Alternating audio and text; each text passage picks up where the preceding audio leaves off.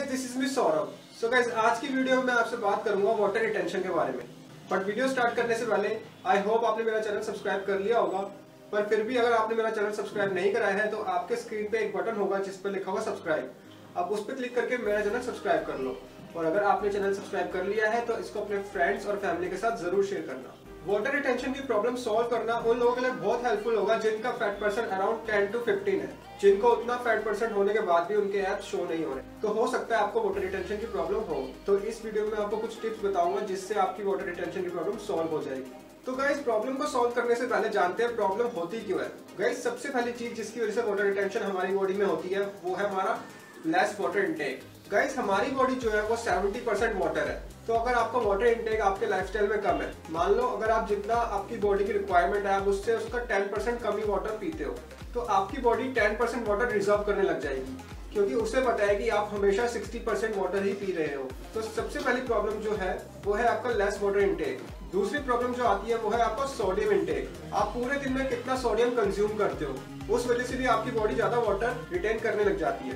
Third problem हो सकती है जिस वजह से आपकी बॉडी वाटर रिटेन कर रही है, वो है आपका carb intake guys around one gram of carbohydrates को प्रोसेस करने के लिए around three M of water चाहिए होता है। तो जिसका मतलब है कि आप पूरे दिन में अगर 300 हंड्रेड ग्राम्स कार्बोहाइड्रेट्स कंज्यूम कर रहे हो तो उसको प्रोसेस करने के लिए आपकी बॉडी को अराउंड 900 ml वाटर चाहिए। और लास्ट थिंग जो आपकी बॉडी में वाटर रिटेंशन की प्रॉब्लम क्रिएट कर सकती है, वो है क्रिटेन इनटेक अगर आप कटिंग कर रहे हो या फैट लॉस कर रहे हो, और उस टाइम पे अगर आप क्रिटेन ले रहे हो तो गाइस तब भी आपकी बॉडी में वाटर रिटेंशन की प्रॉब्लम हो सकती है। क्योंकि क्रिटेन का जो सबसे पहला मेन रोल है, वो यही है कि वो आपकी बॉडी में वाटर होल्ड करता है, जिस वजह से आप ज़्यादा लिफ्ट कर पाते हो। तो आप जानते हैं इस प्रॉब्लम को कैसे सॉल्व करें। इस प्रॉब्लम का सॉल्व करने का सिंपल सा तरीका है, जो मैंने अभी आपको प्रॉब्लम्स बताई हैं, उनको हमें बस ठीक करना है। सबसे पहली प्रॉब्लम थी आपका लेस वाटर इनटेक तो लेस वाटर इनटेक को आपको सही करने के लिए बस सिंपल सा करना है, आपको पूरे दिन में ज़्यादा पानी पीना है। आपको around three two four litres of water daily consume करना है। इतना वाटर कंज्यूम करने से क्या होगा कि आपकी बॉडी को धीरे धीरे पता लगेगा कि आप ज़्यादा पानी कंज्यूम कर रहे हो। उसको ये पता लगेगा कि आपकी बॉडी में पानी की कमी नहीं है। तो जो उसने पानी होल्ड किया होगा, वो धीरे धीरे उसको फ्लश आउट कर देगी यूरिन से। नेक्स्ट प्रॉब्लम थी सोडियम इंटेक गाइस इंडियन खाने में हम इतने मसालों का यूज़ करते हैं, जिस वजह से हमारा पूरा सोडियम इंटेक उधर से मिल जाते हैं।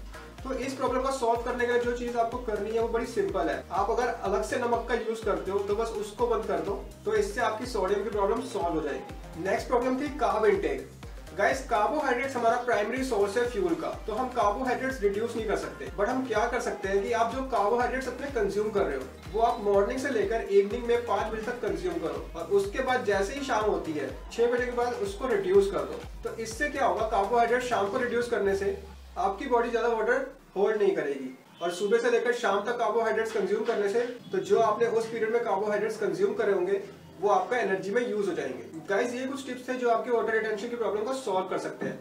बट इन सबको करने से भी अगर आपकी वाटर रिटेंशन की प्रॉब्लम सॉल्व ना हो तो मैं आपको कुछ असेंशियल टिप्स बता रहा हूँ। आपको ये देखना है कि अगर आप जंक फूड्स कंज्यूम कर रहे हो अपनी डाइट में तो आपको वो बंद करने हैं। क्योंकि जंक फ़ूड में हमारे को सारे कार्बोहाइड्रेट्स फैट और सोडियम इंटेक सब कुछ ऐसी चीज़ें मिलती है जिस वजह से हमारे को वाटर रिटेंशन प्रॉब्लम हो सकती है।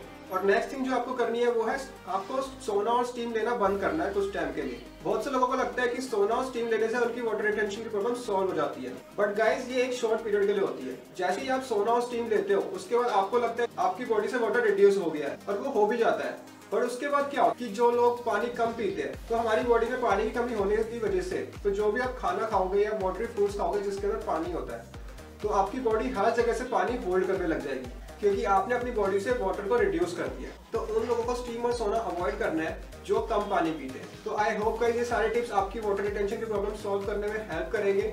तो see you in the next video and best of luck